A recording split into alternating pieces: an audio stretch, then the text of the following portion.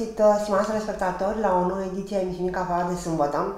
De data aceasta ne bem cafeaua cu o invitată specială și deosebită pe care o apreciez foarte mult, doamna Corelia Anca. Este managerul unui, uh, unei companii de renume. Mulțumesc mult de tot că ne-ați primit la noastră în birou și bine v-am regăsit. Cu drag, cu drag. Bine ați revenit.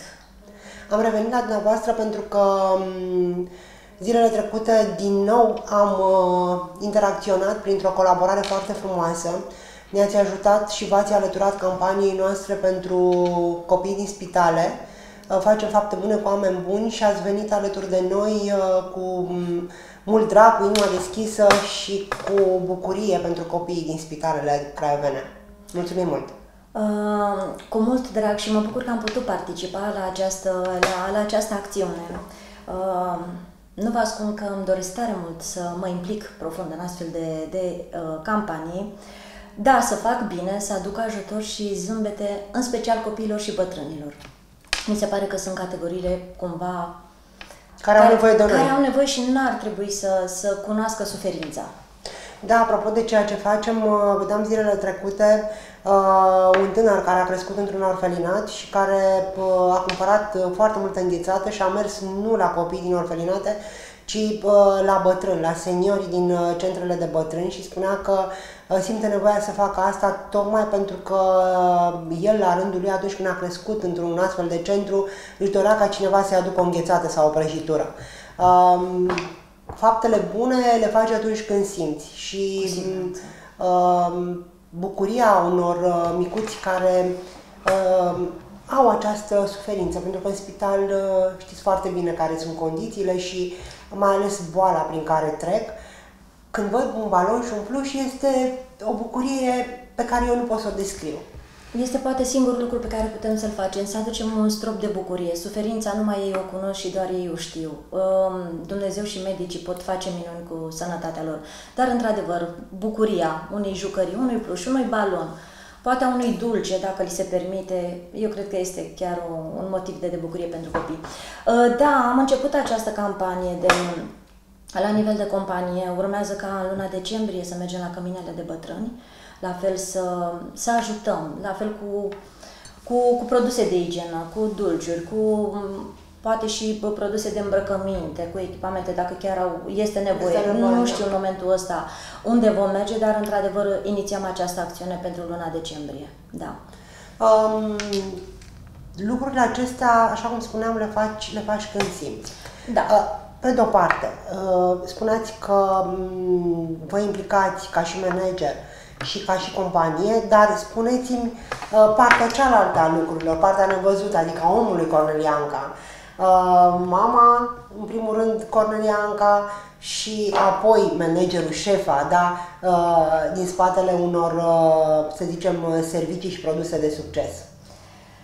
Uh, mi-a plăcut întotdeauna să fac uh, fapte bune. Uh, așa cum poate am spus și în alte interviuri sau în celelalte două interviuri, nu am avut o să spun așa, o viață poate frumoasă, uh, liniștită, fără greutăți și mi-am dat seama cât contează dacă cineva îți întinde o mână de ajutor. În momentele de greutate, în momentele de cumpănă, în momentele în care ești doar tu cu Dumnezeu. Și da, mi-am propus de atunci și fac asta de foarte mulți ani.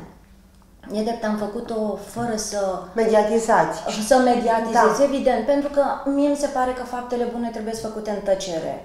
Eu nu sunt de acord cu asta. Uh, așa da. am crezut până da. acum. Dar da, uh, dacă ne-am implicat mult mai mulți, acum mă gândesc că poate voi fi un mic exemplu pentru pentru alte persoane care au și posibilitatea să facă lucrul ăsta. Cu puțin poți face foarte mult. Și să vă explic de ce nu sunt de acord, pentru că făcând lucrurile astea lunar, de aproape 2 ani de zile, da, am da. Uh, discutat cu colaboratorii noștri care ne sunt alături, așa cum spuneam, de când am început campania Facem fapte bune cu oameni buni și îmi ziceau, Alina, nu vrem să apărăm, nu, adică faci tu lucrurile astea, mergi tu, noi nu putem să facem, pe de o parte că nu putem, deci nu avem puterea asta de a ajunge în spital la copii și în al doilea rând avem foarte multă treabă, suntem foarte ocupați. Și atunci am explicat, eu trebuie să mediatizez lucrurile astea pentru că vreau să am o comunitate care să se implice în acțiunile acestea. Și după ce am mediatizat, au venit alți parteneri, alți colaboratori, ca și dumneavoastră. Da. Văzând lucrurile astea, mi-a spus, Alina, vreau să fac asta, adică cum, cum te ajutăm, cum venim și noi în sprijin. Vedeți, adică fără mediatizare nu pot să atrag alți oameni care vor să facă asta. Așa este, într-adevăr. Bine, eu făceam, sau am făcut fapte bune la o scară personal, mică probabil. și la o da, scară mică, da. atât cât puteam, nu știu, să duc niște ulei, făină, zahăr sau alimente de bază, da. sau alimente de bază sau într-adevăr am făcut cum ceva ani în urmă, la fel, o campanie foarte mare cu sute de pachete în școli, în școlile de țară, rurale, de unde rural, da. nu ajungea acolo decât, nu știu cum să spun, microbuzul de școală. Dar am făcut asta. E, ulterior mi-am dat seama că e ceva în mine, în sufletul meu da. și pot să... Da, da. Să... Ați văzut bucuria aceea de... Da. Uh, da. Bucuria care din, o primești? Din, uh, din ochii copiilor, din, uh, din comunitatea lor. Cât... Da, da. Uh, uh, am vrut să, să mediatizăm uh, uh, această acțiune tocmai în ideea în care uh, mi-a plăcut uh, atitudinea dumneavoastră și vă apreciem foarte tare și vă mulțumim încă o dată pentru, pentru tot sprijinul acordat. Eu mulțumesc mult că mi-ați dat șansa să pot să fac și cu siguranță voi mai face astfel de, de lucruri. Îmi aduc o satisfacție fantastică când pot să aduc un strop de bucurie. Dar, într-adevăr, așa cum am spus, am o afinitate pentru copii și pentru bătrâni. Mi se pare că atunci când și bolnavii, Doamne, năpăstuiți de soartă, adică sunt da. și persoane care, dar cumva Copiii nu pot înțelege ce li se întâmplă, iar bătrânii sunt tot niște copii. Tot niște copii, da. da. Și asta o văd și eu. Văd și cu tatăl meu, adică deja este ca un copil. Uh, și chiar îmi spuneam, zic, Doamne Dumnezeu, le-a venit vremea să întorc și să-L ascult așa cum a ascultat El pe mine. Când erați, când eram copil. Când erați da, copil. Da. da. Uh, mare lucru să poți să faci asta și să mm, îți respecti părinții, să-i ajuți. Uh, să revenim însă la ceea ce faceți în fiecare zi. Uh, câți oameni coordonați? Uh, în momentul acesta coordonez 11 județe. Asta înseamnă 9 directori în, în subordine. Uh, sunt, uh, avem cred că în jur de 70-80 de angajați, dar cu tot, toată forța de vânzare este în jur de 400 de persoane. Da, adică comunitatea noastră, să zic, este de 400 de, de, de oameni de angajați. Foarte mulți oameni. Foarte mulți da. oameni. Foarte mulți. Cum ați ajuns aici? Cum ați reușit? Uh, nu a fost ușor. Nu a fost ușor, dar de fiecare dată um, am tânjit poate și mi-am dorit să să pun în practică tot ceea ce am acumulat ca și cunoaștere. Pentru că trebuie să fii pregătit pentru un astfel de moment. Dacă aș fi avut, nu știu, această oportunitate cu mulți ani în urmă, probabil că nu aș fi reușit să fac. Dar experiența, experiența joburilor anterioare, pentru că și joburile mele anterioare, cumva tot am interacționat cu, cu oamenii și am avut oameni în subordine, uh, m-au, uh, m-au adus aici. Dar uh, este o plăcere, eu fac totul cu pasiune. Pentru mine este o plăcere. Eu mă bucur dimineața când mă trezesc că vin la muncă. Mm-hmm. Da, este așa, este o satisfacție. E mare lucru să vii cu dragul da, da, da, da, da. Da, deci vin cu tot dragul, dar cu tot dragul în toată viața mea am fost la muncă. Cred că au fost puține perioadele alea în care nu-mi făcea bine, să zic, să... Asta înseamnă că sunteți o femeie de carieră, pentru că bănesc că uh, pentru a ajunge într-o anumită funcție ați luat-o pas cu pas, da. nu ați ajuns da. Uh, nu, dintr-o dată. Nu am ajuns dintr-o dată și nu cred că se poate ajunge dintr-o dată. Uh, președinții de companii, oamenii care coordonează... În mediul privat nu se poate. Nu se poate, nu. În mediul privat... La stat se poate, da? Se poate. Nu știu, n-am lucrat la stat da, niciodată, niciodată, dar da. da, în mediul privat, da. Dar este o provocare și este o provocare plăcută. Uh, da, eu am început cu, cred că sunt 14-15 ani într-o poziție de agent, întâmplător și veneam de pe poziție de, de economist principal în sediu central al OMV din București. Uh-huh. Cumva era o, nici nu știu cum să-i spun, o decădere, dacă, da, dacă să zic, la momentul respectiv, cu ghilimele da, de rigoare. Da, deși da. atunci când muncești nu e deloc decădere. Nu este, nu da. este. Și într-adevăr mi-am spus atunci că uh, Uh, nu banii sunt totul în viață și că familia este mult mai importantă. Am fost plecată ani de zile de acasă și cumva simțeam că copilul crește fără mine. Uh-huh. Tata, îi aveam doar pe ei la momentul respectiv, tati se îmbolnăvea destul de des și avea nevoie de ajutorul meu. Eu sufeream că eram foarte departe de ei, dar am decis să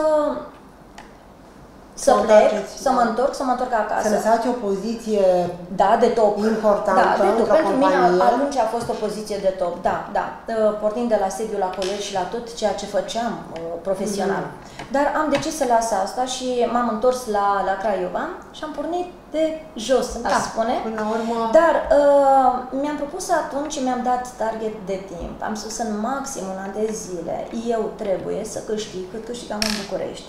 Mm-hmm. Și s-a întâmplat mai devreme, chiar după șapte luni de zile. Ăla a fost momentul Dar știați meu. ceva de asigurări la momentul uh, respectiv? Nimic nu este întâmplător. Eu când mi-am dat licența, am, am avut licența, pe, am terminat secția de finanțe, asigurări, bănci și burse de valori, iar lucrarea de licență a fost asigurare de răspundere civilă.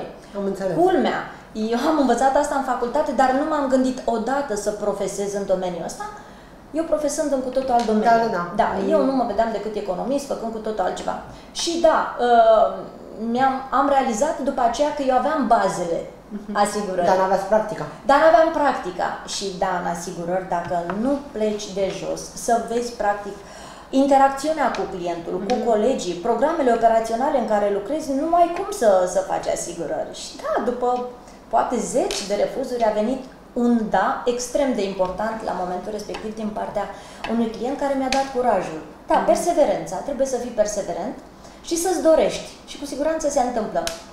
Dar trebuie să fii și un bun profesionist, că altfel mm. nu se poate.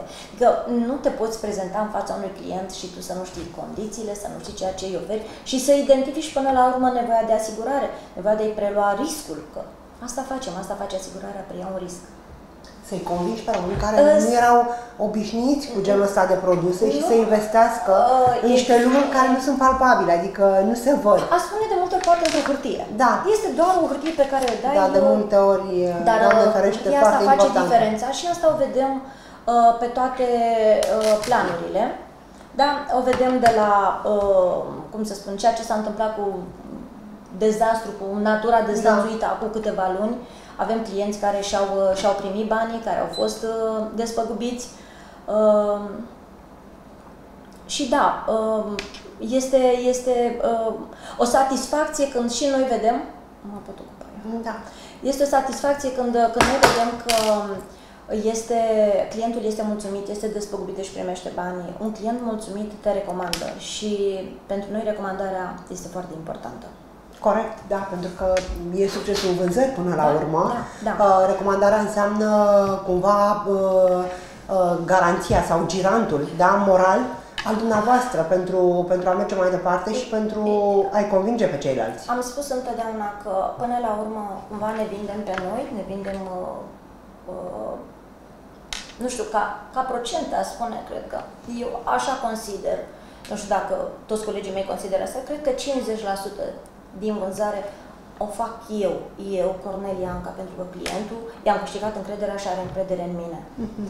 Brandul E una, da. Este una și produsul, da. dar clientul mă cumpără pe mine, pentru că atunci când are nevoie, cu mine discută. Mă rog, cu ghilimele de rigoare, cu ghilimele de rigoare, evident, deci, da, da cumpără, uh, cumpără profesionalismul, da, seriozitatea, da, evident. Da, da, da, la modul da, că... La modul ăsta. La modul, la modul ăsta, evident, da. Uh, dar... Um, uh, știți că de foarte, de foarte multe ori uh, uh, oamenii nu au încredere în genul ăsta de, de produse.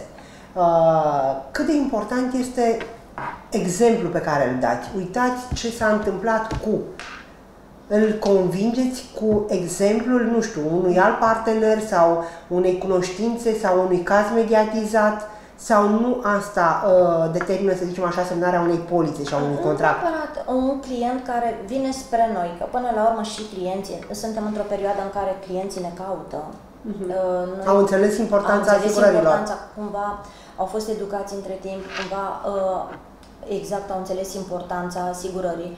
Pentru că, de, de regulă, avem tendința să asigurăm o mașină, să asigurăm, nu știu, Bine, un asigurările obligatorii oricum a, sunt obligatorii. Alea sunt în efectul legii, nu da. le putem noi, uh, cum să spun, uh, impune sau obliga să le facă. Are statul grijă să, să, să impună asta, exact. Dar noi vindem acele asigurări facultative pe care clientul și le dorește și le consideră o necesitate. Uh, și atunci, în momentul în care clientul ajunge, rolul meu este să pot, al vânzătorilor, este da, să, să poată să identifice nevoia clientului de asigurare, pentru că s-ar putea clientul să vină cu o idee și de fapt să plece cu altceva. Cu altceva, pentru că nu îi se potrivește forma respectivă de asigurare. Dar e bine să ne protejăm din toate punctele de vedere. Absolut din toate punctele de vedere. Păi aici vreau să ajungem pentru că am mai discutat lucrul ăsta și uh, vorbind acum despre uh, perioada dificilă prin care am trecut, sănătatea, da? asigurările de sănătate, cât de importante sunt și dacă după pandemie și, mă rog, nu știu dacă s-a terminat pandemia, uh, oamenii... Asta cred da, că este endemie, da, ce am înțeles. Da, dacă oamenii se îndreaptă mai mult către genul ăsta de produse în asigurări. Da, da. Uh, se îndreaptă și asta o văd în, uh, în vânzări, ne-au crescut foarte mult vânzările pe acest segment al da. asigurărilor da. de sănătate, da, sunt mult mai interesați. Dar ce pun cel mai mult preț acum? Pun pe partea, preț pe partea de prevenție foarte mult. Uh-huh. Și mă bucur că putem, uh, putem pune acest pachet, să zic, pachetului de bază. Ce înseamnă care, partea de prevenție? Partea de prevenție, un set de analize și investigații pe care clientul îl poate, uh, îl poate face atunci când simte nevoia, fără să mai aibă, nu știu, o trimitere sau o recomandare medicală. Uh-huh, uh-huh. Da, deci merge în, în clinică, în clinicile agreate sau nu, și își face acest set. Este predefinit. Predefinit un set de analize și de investigații. Da? Am înțeles. Dar prevenția cum, cum spun tuturor, are un rol extrem de important. E mult mai bine să previi decât să tratezi. Și atunci pe prevenție poți descoperi sau nu ceva. Și da, poți... poți importanța asigurărilor imobiliare. Suntem în creștere și aici suntem în creștere destul de, de, de bine și de asta spun că oamenii au înțeles mm, cumva fenomenele atmosferice și ceea ce s-a întâmplat. Exact. Mă gândeam la... acum la ce s-a întâmplat săptămânile trecute păi, în Craiova. Săptămânile da. trecute, da, da acel, acel dezastru cu acoperiș de bloc luat și smuls, cu uh, copaci, arbori da. căzuți da. peste mașini. Da, da. Uh, avem absolut toate dosarele deschise de daună. Au, au fost clienți care, care s-au îndreptat, da, s-au îndreptat către noi și au primit, uh, și-au primit banii și da, uh, suntem, uh, suntem acolo, suntem în mijlocul lor. Mai mult decât atât, uh, noi suntem acum într-o campanie și la nivel de regiune am făcut asta până acum în trei agenții. Ieșim în stradă cu flyere, cu, cu uh-huh. la fel, cu baloane, atragem atenția prin, ne îmbrăcăm cu tricouri, cu șerci, da? astfel încât să, să fim da, un grup de, de o formă de marketing. O da. formă de marketing, dar facem asta să discutăm cu cu, cu potențialii noștri clienți, rolul și importanța protecției. Da. Care trebuie să fie din ce în ce mai mare. Adică uh, ne-au demonstrat ultimii ani, da, uh, cât de important este să fim asigurați. Adică Ulme, nimic că... nu mai e uh, sigur, să zicem așa. Deși s-au întâmplat foarte multe lucruri pe pandemie și cumva au fost, cel puțin în industria Horeca, foarte multă industrie poate închisă sau și-au redus volumul de activitate, noi nu am avut probleme din sensul ăsta. În acest sens, chiar uh, nu ne-au crescut vânzările. Și da, uh-huh. pe aceste asigurări facultative, care încă o dată spun, sunt extrem de importante. Sunt extrem de importante, de la asigurarea bunurilor până la asigurarea vieții și sănătății. Da. Uh, mă bucur să aud asta pentru că um, discutam cu colegii de dumneavoastră de-a lungul anilor despre mm, conștientizarea, să zicem, importanței asigurărilor în alte strate europene. Și îmi ziceau uh, uh, colegii dumneavoastră că în străinătate, în uh, portofel au permisul da, cartea de identitate și asigurarea. Și asigurarea, da, pentru da. că este foarte, foarte important atunci când, când ieși din casă să simți că ești asigurat, da? din mai multe puncte de vedere, și ca persoană, sănătatea, uh, apoi uh, bunurile pe care tu le dobândești de-a lungul vieții și pentru care muncești foarte mult. Uh, am văzut acum incendii, deci după partea de, să zicem, calamitățile astea naturale cu vânt foarte puternic, cu smurs de acoperișuri, cu căderi de copaci pe mașini, au fost incendii datorită căldurilor foarte, foarte mari. Într-o comună, șapte locuințe au ars. Acum nu știu cât de important este, am văzut uh, chiar și la nivel de Horeca, pensiuni și hoteluri neasigurate care pur și simplu se fac scrum. nu-mi imaginez cum să faci o astfel de investiție de sute de mii de euro, poate chiar mai mult, și să nu ți asiguri un asemenea bun. Mm, nici noi nu putem ajunge absolut da, la, toată la lumea. toată lumea. Da. Uh, Cred că atunci când, nu știu, investești atât de mult într-o pensiune Da. sau, cum spuneai, în Horeca, să nu faci o formă de asigurare, pentru că ele sunt foarte multe. Odată să-ți asiguri bunul respectiv, conținutul din spațiul respectiv. Dar eu recomand răspunderea civilă față de terți, pentru că se poate întâmpla orice, nu știu, Doamne ferește, se poate întâmpla uh, cade cineva și fracturează piciorul sau o toxie infecție alimentară, se poate întâmpla orice acolo. Este bine să, să ai toate formele de asigurare și încă o dată nu, din punctul meu de vedere, primele de asigurare sunt extrem de rezonabile. Adică ar fi ultima problemă, să spun, financiară din partea unui investitor să zic așa, nu mi-asigur pentru că costă. Nu. Este infim față de investiția pe care o face. Am înțeles.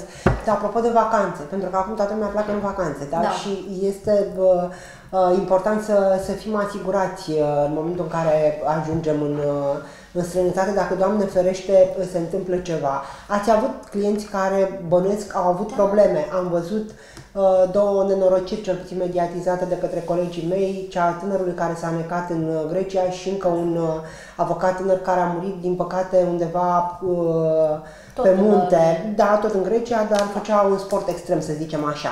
Uh, se asigură în momentul în care pleacă în străinătate Uh, turiștii? Da, da, da, cu siguranță. Păi acum este sezonul în care, într-adevăr, vin Da. foarte mult aceste forme de asigurare. Cum să nu asigurăm inclusiv uh, partea de bagaje, uh, tot ceea ce se întâmplă acolo. Mhm. Ah, interesant asta cu bagajele, că am înțeles că e o mare nebunie Da, cu da, da, bagajele, se inclusiv pierde. bagajele. Sigur că da. Adică uh, pachetul este atât de cuprinzător, mm, bagaje, uh, tot ce se întâmplă de la ieșirea din România până la intrarea în, uh, în țară, din punct de vedere al sănătății sau al accidentelor, uh, inclusiv dacă, Doamne ferește, cu tânărul de la, se întâmplă ceva cum s-a întâmplat cu tânărul de la, de la noi din județ, în, uh, în Lecada, uh, inclusiv repatrierea, repatrierea O face compania da, de asigurări. face compania de asigurări. Da. Și sunt În niște... condițiile în care ai asigurat. În condițiile în care este asigurat, evident, dar uh, e bine să faci asta. E bine Sigur. și e bine, îți dă un sentiment de, de liniște până la urmă și de siguranță. Uh, nu știu, poate costă un bilet 1000 și ceva de euro și uh, 10 euro O o asigurare. asigurare. Deci mi se pare Da, cumva mai mult decât rezonabil. mai mult decât rezonabil să, să nu te asiguri pentru ceea ce ți se poate întâmpla acolo. Doamne ferește, o criză de fier. Da. Da. Orice. Ceva la care nu te aștepți. Exact, sau un exact, accident. nu știu, o durere de măsea. Da, Lăsăm da. la parte, să zicem, accidentele. Dar Da. ceva care ți se poate Lucruri întâmpla care se pot întâmpla și în țară firești, și în nu se străinătate. întâmplă Da. și în țară și atunci e bine să ai această formă. Nu știu dacă puteți să ne spuneți cel puțin, uh, bineînțeles, fără a da nume, care a fost cea mai mare primă pe care, uh, de asigurare pe care dumneavoastră ca și companie ați uh, oferit-o cuiva. Sunt, sunt, uh, sunt prime foarte mari Da? de despăgubire, da, da, adică vorbim de câteva milioane Da? de lei, da. Da, sunt uh, și sunt uh, uh, daune la tot pasul, aș spune. Da, cel puțin pe partea auto, da. Da, sunt, sunt Nu mă daune. referam neapărat la partea auto, acestea Uh, sunt uh, probabil cele mai frecvente. Da, dar uh, încă o dată, da, sunt, uh, sunt despăgubiri foarte mari, da. Da, pentru că acum mi-aduc aminte de celebrele filme americane în care Acolo e Da, altceva. e altceva, acolo, da. da. Cine Uh, rămâne, da, cine moștenește. Cine moștenește, da. Sigur Există că da. și această variantă, adică să, dacă se întâmplă ceva bă, Noi eram, moștenitor, eram în altă companie când, Da? da, când uh, un client a solicitat să, să-i facă o asigurare și Da. beneficiar a lăsat pe o anumită persoană. Da, da, da. da, da, da, a dat declarație de ce lasă, să zic Mhm. așa, în caz de deces, uh, da, această sumă această mare sumă de bani. mare pentru că plătea Da. enorm de mult. Da, într-adevăr. Dar uh, i-a fost acceptat uh, solicitarea Da. și da, are polița cred că și acum în vigoare. Pentru că în înțeles. 2 ani de zile îi expiră și Mhm, mhm. Deci Presupun este că clar că doamne- sunt oameni care da, da, persoana respectivă, doamna respectivă intră în posesia intră în posesia A banilor, da. banilor, asta în condițiile în care s-a întâmplat ceva cu partenerul, nu? Sau se întâmplă ceva cu partenerul? Sau... Este beneficiar al asigurării. A, și la este. deces și la supraviețuire, adică doamna Ah, e... și și. Deci Și, nu și. există și varianta asta. Și există, da, sigur că da. Da? Sigur că da, există. Da. De regulă la supraviețuire, beneficiar, Dacă nu se specifică, este contractantul, mm-hmm, da, da. Dacă nu, este și o altă, un alt aspect pe care vreau să-l discut este cel legat de uh, uh, asigurarea copiilor pentru studii.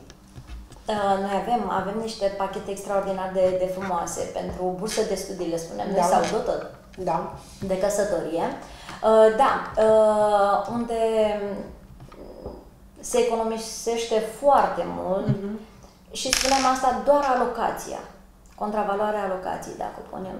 Este asigurat copilul la 18 uh-huh. ani când merge la facultate pentru câțiva ani de facultate. Da, da, da, contează da, foarte mult da. asta.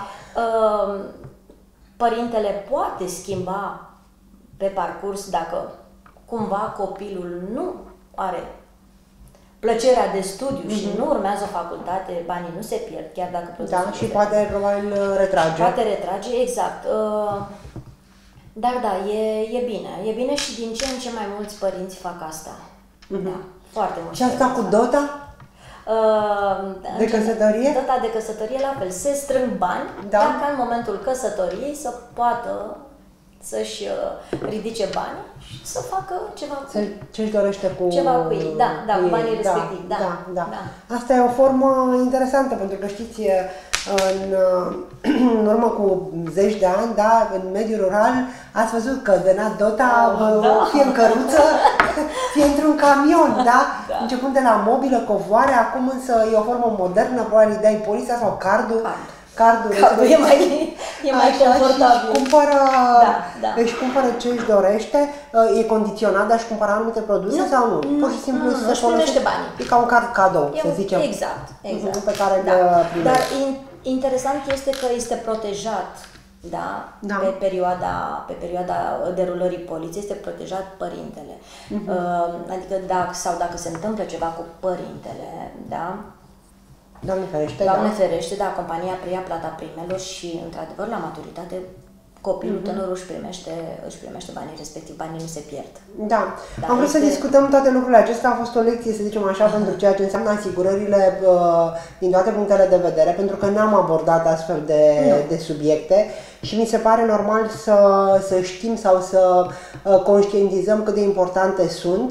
E adevărat că lucrurile astea uh, sunt uh, cu dus și întors, adică pot să fac asta, să zicem, o viață și să n-am nevoie de absolut deloc de, uh, de beneficiul unei astfel de asigurări. Dar asta nu înseamnă că îmi pierd banii, că probabil mi scot și nu e niciun fel de problemă. Da. Sau, Doamne ferește, se poate întâmpla ceva și atunci o astfel de poliță de asigurare, nu știu, mă salvează pe mine, îmi salvează viața mea, familie uh, și mai departe. când, dacă ne referim la cele de bun sau la cele de da. clădiri, da. da noi asigurăm la valoarea de reconstrucție. Uh-huh. Asta înseamnă că dacă, Doamne ferește, se întâmplă ceva, da. noi despăgubim suma asigurată, valoarea de reconstrucție sau și a bunurilor din locuința respectivă. Practic, nu pierde nimic. Uh, clientul. Uh, dacă ne referim sau la cele auto, aduce mașina la forma inițială sau la starea de dinainte de a încheia mhm. polița de asigurare sau de a se întâmpla evenimentul asigurat. Dacă ne referim în schimb la asigurările de viață, aici este o altă, ele au practic trei componente. Au partea de protecție, protecție pură, uh-huh. adică dacă, Doamne ferește, se întâmplă ceva cu mine și sunt asigurat, familia sau moștenitorii primesc suma asigurată uh-huh. în valoare de part, dar dacă supraviețuiesc până la derularea contractului, evident că partea de protecție se pierde. Dar mm. atașez toate celelalte, să zic, clauze, partea de economisire, partea de investiție, mm-hmm. pentru că, într-adevăr, sunt produse foarte bune și... Da, banii, practic, sunt pe care i-ai... Uh... Exact, adică merg pe protecție cu o sumă da. foarte mică, dar merg pe partea de economisire sau investiție cu o sumă foarte mare și atunci, cumva... O primești înapoi, o primești dacă... înapoi, îți primești da. banii înapoi, sigur că da, cu, și cu un randament, evident, adică nu se primesc doar banii. Nu, ei, mm-hmm. uh, la final de contract, au un randament, spun eu, destul de bun. Mhm. Adică încă ceva, încă, încă ceva, ceva cu siguranță, da. Deci am fost da. protejată, mi-am economisit în perioada asta de derulare a contractului și la final de contract am După ce, să zicem, uh, uh, s-au uh, terminat uh, temerile, într-un fel sau altul, cu ceea ce înseamnă partea de pandemie uh, și am intrat în cealaltă, să zicem, uh, parte la fel de, să zicem, stresantă, cea cu războiul de la granițe. De la graniță. Au fost ceva solicitări, nu știu, uh, în care au venit să vă întrebe dacă, Doamne ferește, se întâmplă ceva în România pentru asigurarea bunurilor? Sunt, uh, sunt, sunt solicitări. Da, oamenii Sau- întreabă, evident, da. că vor să se pună cumva la Da, adăpost. da. Numai că războiul nu este, este risc exclus. Exclus, Da, da. cum de altfel și pandemia. Dar încă o dată sunt mult mai multe sau sunt atât de multe riscuri care Mhm. au o frecvență fantastică, destul de, de, de, de, de mare, care se pot întâmpla. Adică, până la urmă, Doamne ferește, în caz de război, este statul care intervine. Mhm. Dar o explozie, un incendiu, o inundație, orice altceva, În afara războiului, adică în în, afara cazul în care nu războiului, e da, război, nu, da? în război, Da, nu, i-am asta înțeles, Este da. clar excludere în toate tratatele și în absolut toate societățile. Avem în, uh, în zona noastră, în Oltenia, nu știu, uh, um, persoane care își doresc să-și asigure bunuri de valoare, cum ar fi tablouri sau bijuterii. Da, da, da, Da? da. Sunt niște condiții speciale pe care trebuie Da. să le îndeplinească de la SEIF până la o partea de protecție. Dar da, se asigură și astfel de, și astfel de, de blănuri, bijuterii, Mhm. uh, tablouri. Da. Își asigură sau, nu știu, ne-am uh, educat într-un fel sau altul, așa cum se întâmplă în străinătate, uh, un stilist foarte bun să-și asigure mâinile sau un sportiv să-și asigure uh, picioarele, Da. uh, un fotbalist. Eu, cel puțin pe regiunea mea, nu am un astfel de, Da, aveți nu un am un astfel astfel de de caz. caz. Da. Nu, nu am un astfel de caz. Nu știu dacă, dacă sunt, presupun că da, dar probabil cazuri extrem de, de Dar se puține. Pot face lucrurile astea, adică se pot asigura Se găsesc soluții. soluții, da? Se găsesc soluții, da, da. Dar, Da. încă o dată, eu nu, nu cunosc să avem, Să avem un astfel de, caz. Da, pentru că m, vă dați seama, atunci când uh, Nu depinde, dați să seama zicem... ce, și ce prime de asigurare sunt, adică Da, acolo- da, discutăm de altceva. de discutăm de altceva. Cu siguranță. Uh, Vă mulțumesc foarte mult, mi-a făcut o mare plăcere să, să ne revedem și să aflăm lucrurile astea. Mă gândesc că întrebările pe care vi le-am adresat uh, și le-au pus de multe ori telespectatorii. uh, Sunt convinsă. sunt Pentru că, convinsă. m, nefiind obișnuiți cu genul ăsta de, m, de produse până în 1989, a fost destul de greu să, să impunem pe piață și mai ales că a fost o avalanșă de m, um, companii de asigurare, unele mai puțin serioase și... m, Piața nu- s-a cernut între timp S-a și cernut, vedem, da, vedem cu da. toții că au rămas uh, Cei mai mari, să zicem, cei mai jucători. mari jucători în piață Da. și cei mai serioși, Da. pentru că m, nu poți să rămâne în piață decât dacă îți plătești uh, Mhm. daunele și îți respecti condițiile contractuale față de client. Uh, îți dezvolți portofoliul de produse, pentru că și riscurile, iată cine știa de pandemie până acum Da, da, da, da. cu trei ani de zile, Sigur, trei ani și jumătate, da. trei. Exact, îți dezvolți și în permanență, te preocupi să, Mhm. să lărgești această gamă de produse și să preiei uh, riscuri speciale până la urmă. Da, avem și riscuri speciale pe care le preluăm în asigurare. Cumva aproape toate formele de asigurare. Mhm. Se găsesc soluții, asta am spus. Se găsesc soluții pentru orice Și risc. probabil în, în fiecare uh, sau o astfel de perioadă nu poate face altceva decât să aducă o îmbunătățire în serviciile și produsele Da. asiguratorilor, A- a- având în vedere ceea ce s-a întâmplat, că probabil după chestiunea asta cu pandemia toți se gândesc să, să vină cu alte îmbunătățiri la uh, produsele de asigurare. Da, și nu numai asta, uh, evoluăm. Vedem ce se întâmplă în afară, ce se întâmplă și la noi în țară. Este o evoluție și trebuie să ții pasul. Trebuie să ții pasul cu, cu, cu evoluția. Și da, toate societățile, într-adevăr, uh, caută să-și dezvolte foarte mult gama de produse. Să fie produse pliate fix pe nevoia clientului. Da, de asta spun că au rămas puțini jucători în piață, cei mai serioși de altfel, și mm, ține până la urmă de strategia fiecărei companii spre ce linie de asigurări vrea să se îndrepte. Vorbeați de ceea ce s-a întâmplat cu, nu știu, companiile care au ieșit de pe piață, care Da. au mers doar pe partea de asigurare obligatorie, acel RCA Auto. Deci, Foarte ieftin, care, din Foarte păcate, ieftin. trebuia să ne dea de gândit. Da. Trebuia să dea de gândit în Da. primul rând clientului, dar clientul întotdeauna spune așa, nu este pentru mine, este pentru Da, celălalt. da, da. Și nu gândește corect, pentru că Dacă îi se poate întâmpla ți se lui poate și primești întâmpla o ție și asigurare de primești genul tu. ăsta, Da, dar Da. uh, încă o dată noi ne menținem standardul, nu uh, Nu vă abateți. nu, nu ne abatem de la, de la strategie. Și, într-adevăr, rezultatele se văd. Mhm. Și se văd în uh, produse de calitate, se văd în vânzări de calitate până la urmă. Că, Și încrederea da, clientului. și încrederea clientului. Da, da. da. Care închide bucla așa, într-un fel. Da. Vă mulțumesc foarte mult, doamna Cornelianca. dragul. M-am plecat de la uh, fapte bune pe care le-am Și făcut am ajuns împreună la- cu, cu uh, compania Sirom și dumneavoastră ca și manager regional uh, um, ați venit alături de noi uh, și ca persoană fizică, iar de data aceasta împreună cu, echipa compania, și da. compania pe care uh, o aveți ca și susținător în Dacă demers. îmi permiteți, compania se implică în foarte multe lucruri și avem foarte multe proiecte.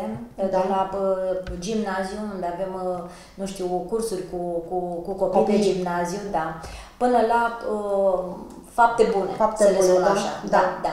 Și, și ne dorim și ne axăm foarte mult, pentru că atunci când, cumva, când uh, vrei să faci bine, trebuie să te implici să faci Mhm. bine. Sunt proiecte pe care compania le lansează. Important este ca noi să le accesăm și să putem să, să ne Știu întoarcem că aveți cu, uh, cu de-a ele. lungul anului mai multe campanii în care Da. vă, vă Da. implicați. Încă o dată, mulțumiri Cu și drag. succes în, Cu drag. uh, Mulțumesc mult. în Mulțumesc activitate. mult. Nu vă întreb de vacanță, că vă văd că sunteți la serviciu, deci sunteți în activitate. Urmează și vacanța, în scurt Ur- timp. Urmează și vacanța. Atunci A vacanță început, plăcută. mulțumesc mult. Mulțumesc. Mulțumim mult, uh, stimați telespectatori, așadar uh, despre fapte bune și asigurări uh, alături de Cornelianca.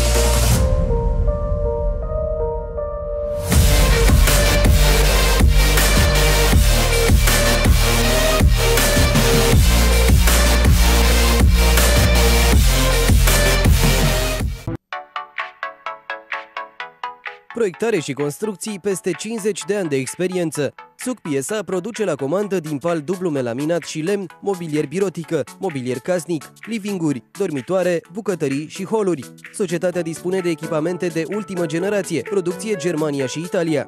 Suc Piesa produce la comandă și accesorii funcționale și ornamentale, unicat sau de serie, pentru interior și exterior, locuințe, birouri, hoteluri, restaurante, unități comerciale, unități de producție, centre de agrement și de cult. Pentru comenzi apelați la numărul de telefon 0742 130 153 sau la sediul societății din strada Calea București, numărul 129A. Suc Piesa. Garanția noastră este calitatea.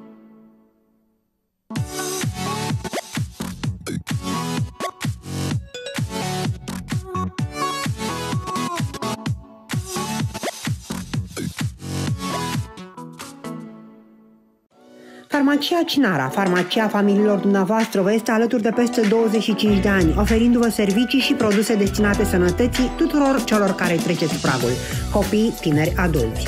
În farmacia Cinara găsiți întotdeauna produsele de care aveți nevoie.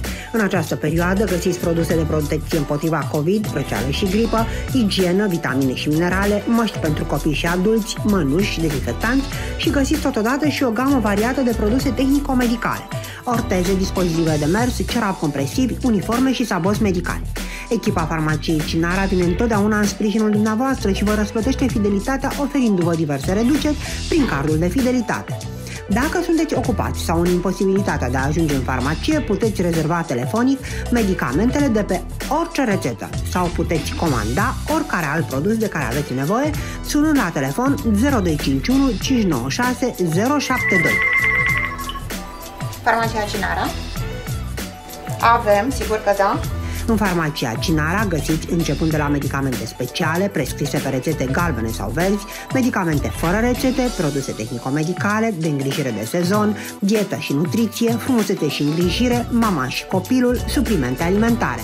Farmacia Cinara este întotdeauna pregătită și vă așteaptă cu porțile larg deschise, pentru că farmaciștii sunt pregătiți și pot prepara în receptura proprie produse după diferite tipuri de rețete medicale, acestea reprezentând o alternativă mai eficientă a preparatelor pe scară largă. Farmacia Cinara vă așteaptă zilnic pe bulevardul Nicolae Titulescu, bloc I5AB, vis-a-vis de grădina botanică. Cinara, farmacia familiei tale. Pentru orice eveniment există florările Iris, flori naturale, exotice și decorative și cele mai frumoase aranjamente le găsești la florările Iris, situate pe Lipscan numărul 1 și în noua locație din strada Unirii numărul 89. Florările Iris asigură buchete și aranjamente florale pentru toate tipurile de evenimente, realizate cu pasiune, profesionalism și originalitate. Varietatea de produse, personalul tânăr și din dinamic, experiența și gustul pentru frumos în a crea ocazii deosebite definesc și individualizează florările Iris care își dedică toate resursele pentru a asigura fiecărui pacient servicii medicale profesioniste, bazate pe un suport tehnologic de ultimă generație. Grupul medical Phoenix oferă pacienților servicii medicale în regim ambulatoriu, cât și în regim de spitalizare de zi cu contract CAS, dar și cu plată, în toate locațiile din regiunea Oltenia, în următoarele specialități. Endocrinologie, medicină internă, cardiologie, neurologie, pediatrie, psihiatrie, obstetrică, ginecologie, diabet saharat, gastroenterologie, fizioterapie.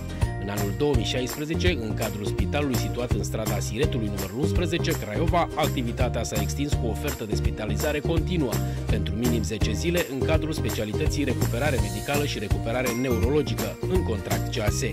Pentru informații vă așteptăm la una din cele patru locații din Craiova, situate pe strada Calea București, bloc R10, strada Siretului numărul 11, Bulevardul Severinului numărul 2G și Ștefan cel Mare, la Centrul pentru Determinarea Osteoporozei, cât și la unul din centrele din Slatina și Târgu Jiu.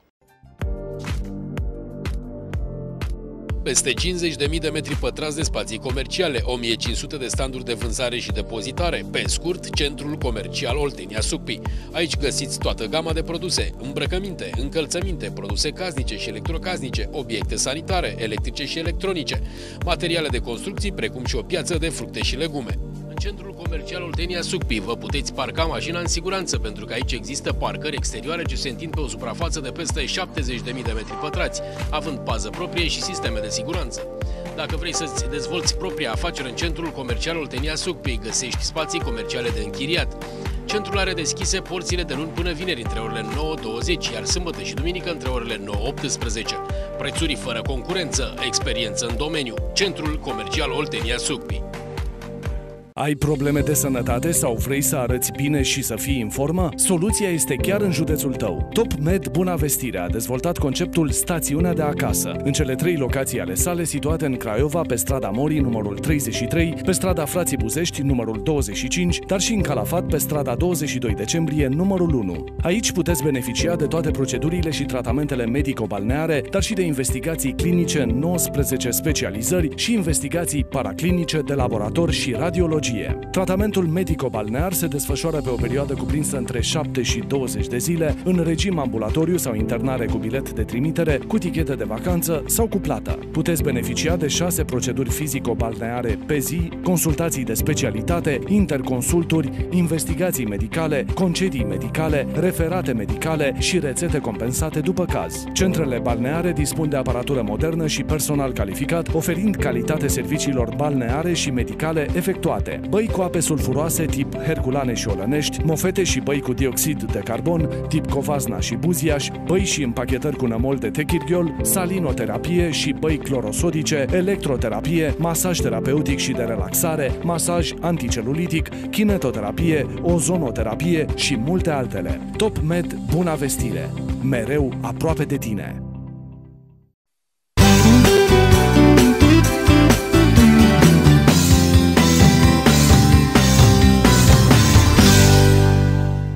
Suntem în grădina de vară a restaurantului MRC, o gazdă deosebită și mm, o să avem o discuție foarte interesantă.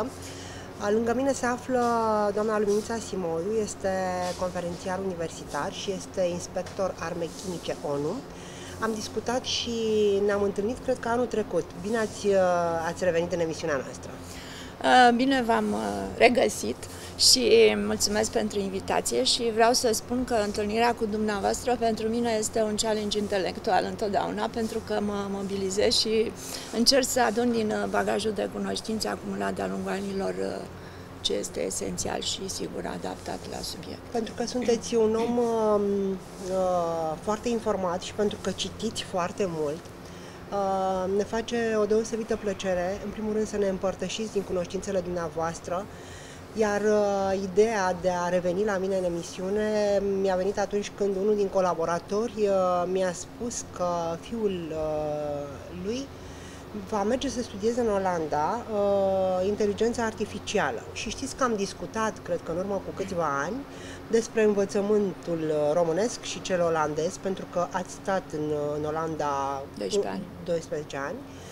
Și cu atât mai mult cu cât uh, dumneavoastră ați și predat în cadrul Universității din Craiova. Deci uh, putem, uh, sunteți cea mai în măsură să ne spuneți cam cum se echilibrează, dacă se echilibrează această balanță în învățământul superior românesc și cel european. Uh, da, este mult de spus, dar este adevărat, în Olanda există, uh, se fac studiile referitoare la inteligența artificială, știu chiar din familie, fica fratelui meu a studiat, a făcut un masterat acolo și într-adevăr a fost, uh, cum să zic, partea de intrare către un doctorat în uh, cyber security la Stanford.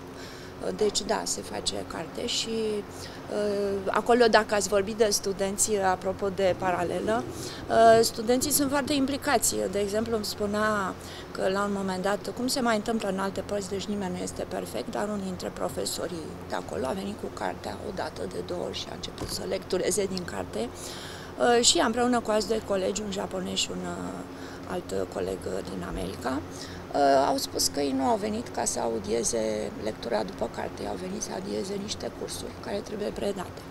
Și au zis că ei vor să plece de la această secție. Și atunci conducerea a spus să nu plecați voi, pleacă domnul profesor. Deci, apropo de... și a plecat. Uh, pentru că acolo este o competiție permanentă între cei mai buni și vin studenți din toată Foarte lumea bun, da. Uh, și este adevărat, vin ca să învețe.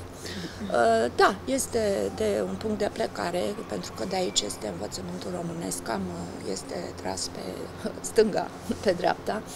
Nu mă refer la curente politice, mă refer la ceea ce ar trebui să facem, că tocmai, uite, omenirea secolului 21 este deja la ușă și asta înseamnă tehnologia care ne începe să ne cam stăpânească dacă noi nu ajungem să o cunoaștem bine. Sigur, la nivel de expert, dar cel puțin la nivel de consumator. Um, deși uh, dumneavoastră sunteți un om, uh, să zicem așa, destul de tehnic, da? Pentru că nu sunteți absolvent de uh, facultate de litere, ci Uh, sunteți inginer ca, ca și profesie și automat știința și tehnologia ar trebui să vă placă, nu? Până la urmă. Chiar îmi plac și fac da. precizarea, nu sunt uh, tehnofobă, tehnofobă sub nicio formă. Uh, dovadă că citesc foarte mult și sunt informată și informez, i-am informat de-a lungul carierei mele, inclusiv pe studenți, cu ceea ce arde omenirea. Vorbesc de gaze de șist, vorbesc de energie nucleară, vorbesc de trecutul COVID sau ce mai fi el, pentru că datoria unui profesor este să fie update și să-i ofere studentului toate cunoștințele pentru ca apoi normal. el să fie în cunoștință de cauză când face o alegere informată. Dar de ce credeți că aleg? Sunt foarte mulți copii, foarte mulți uh, elevi, absolvenți ai colegilor din România care se îndreaptă către uh, această facultate de inteligență artificială? Pentru că, în primul rând, am să spun și asta nu este, este o, o constatare de-a lungul anilor, mergând pe diverse continente da. prin natura profesiei. Am fost inspector arme chimice. Uh, poporul român este un popor inteligent. Uh, copiii români sunt foarte inteligenți și sigur că da, această, există atracția inteligenței către inteligență, adică inteligenței naturale, copiii noștri uh, către inteligența artificială pe care noi trebuie să o cunoaștem ca să putem să o stăpânim. Și este adevărat că ne ușurează într-un fel munca, dar uh, se pare că această inteligență artificială a cam scăpat de sub uh, control. Și am să spun, cred că cu 2 sau 3 ani în urmă, când am organizat o dezbatere pe subiectul 5G, 5G este, dacă vreți, partea de intrare pentru inteligența artificială, și uh, ca să pot, uh, sigur au fost implicați și studenți, da. pentru că le-am spus ce intenționez, uh, am un ONG, adică avem pe care îl coordonez. Precizez din start, nu am lucrat pe proiecte, pe niciun fel este muncă total voluntară. Da. Și am implicat și studenți pentru că subiectul era interesant. Și am pornit întotdeauna face un sondaj să vezi cam care este atitudinea. Și am întrebat, au zis, da, sigur, vrem 5G, dar zic motivul pentru care vreți 5G, îl cunoașteți? Da, pentru că este viteză mai mare de downloadarea unor filme. Și chiar am zis, cred că asta nu vă va ajuta să luați 10 la examen. Corect. Uh, trebuie să totul să studiați. Ar trebui să mai fie și alte motive pentru care să vă doriți 5G. Și atunci uh, le-am făcut curs, am făcut și curs uh, pentru, pe acest subiect. Și chiar am fost uh, foarte impresionată pentru că pornind de la această atitudine uh, pozitivă în totalitate, fără să discearnă, pentru că nu cunoșteau, cum nu cunosc foarte mult dintre concetățenii noștri. După aceea au fost, li s-a luat chiar interviu și a fost împotrivă, pentru că și-au dat seama că este vorba de, uh, chiar vorbesc aici, uh, cunoștință de cauză, pericole nebunite ale câmpurilor electromagnetice. Uh, Dr. Joseph Mercola este autorul acestei cărți, este fundamentată pe circa 200 de pagini de referințe bibliografice Uh, medici, profesori, IT-ști, deci toată această pleadă de oameni de știință care și-au dedicat cariera zeci de ani pentru a studia aceste câmpuri uh, și nu mă refer numai la 5G. Da, pentru că mi-ați uh, deschis aici și eu întotdeauna am peripeții să vă povestesc. Pe acest subiect am participat la Senat acum vreo două săptămâni, am fost invitată de către Uh, remarcabilă, pot să spun, uh, Mădălina Apostol, care este piesa, piesa de rezistență în coaliția anti-5G, deja este Stop 5G în România, uh, ca răspuns a unei acțiuni mai largi la nivel mondial, adică este bazată pe protestul la circa peste 10.000 de oameni de știință la nivel mondial, care au făcut aceste studii și care au arătat că 5G este încă, trebuie să mai stea, în sensul că în știință, chiar mă refer la o carte pe care o recomand, Omenirea secolului 21 și Guvernul Mondial, că se aude din ce în ce mai mult despre acest lucru. Chiar se face referire, autorul Ștefan Mășu, remarcabil, uh, doctor honoris causa, care spune că principiul precauției uh, trebuie să ne guverneze mai ales când este vorba de noile tehnologii. Adică nu putem să le implementăm fără să avem toate uh, argumentele științifice, pentru că acestea nu vor determina, cum revin la specialitatea mea, uh, termodinamică chimică, în care am doctorat, care înseamnă principiul de al termodinamicii, de exemplu, creșterea de entropie, creșterea haosului, dezordinii. Dacă vorbim de încălzirea globală, dragilor, de exemplu, uh, este o consecință a principiului de al termodinamicii. Căldura este o formă dezorganizată de energie și iată că aici am ajuns din cauza unor acțiuni nesăbuite, dar pe partea cealaltă și aici ar trebui, pentru că văd că deja începe isteria și cu această încălzire globală, dacă ar fi să ne uităm și pun mai întrebarea ca să se discute, uh, eventual la altă emisiune, uh, planeta Pământ este un punct minuscul în acest univers. Și totuși ar trebui să ne gândim cât de mare impact este la nivelul Universului din acest punct minuscul. Și acum nu ar trebui să uh, devenim așa, s-a isterizat în da, ultima da, da, vreme. Sigur. Au mai fost temperaturi Pentru că eu, de exemplu, ridicate. chiar nu-mi propusesem da. asta, dar acum o să vă zic că, că îmi sugerează uh, poezia Martea Căprioarei, de exemplu, care începea, din câte mi-aduc aminte, seceta a ucis orice boare de vânt. Deci asta înseamnă că au mai fost și secetă Sigur, și da. călduri foarte mari Și uh, în urmă și cu înainte. zeci de Numai ani, că da. atunci nu era această Mediatizare mă rog, excesivă. mediatizare de, în defavoarea omului, pentru Da. că nu, stresul, și am să vorbesc apropo de inteligența artificială și de 5G, stresul uh, determină la nivel biologic, am predat uh, Da. și disciplină legată de acest subiect, determină uh, și amplificat de aceste uh, frecvențe de microunde uh, și unde milimetrice, uh, stresul oxidativ. Stresul oxidativ este explicat excepțional de un profesor, se numește Paul Martin, uh, profesor eminent în, uh, în biotehnologii, uh, stresul oxidativ uh, determină ca fatalitate, în final, boala canceroasă.